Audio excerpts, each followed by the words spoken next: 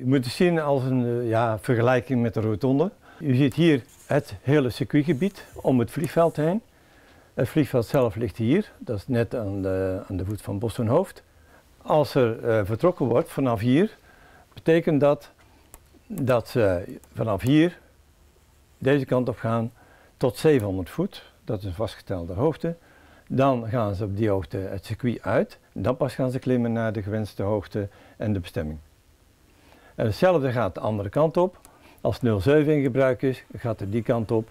En ook 700 voet. En dan mag hier doorgeklommen worden. Voorbij Hoeven gaat het linksaf. En dat is de standaard procedure. En iedereen volgt dit punt. En het is linkerhandcircuit heet het dan. Dat is deze kant op en dit heet een rechterhandcircuit. Dat is de informatie die naar de vlieger gaat. Dus hij weet altijd welke procedure er gevlogen moet worden.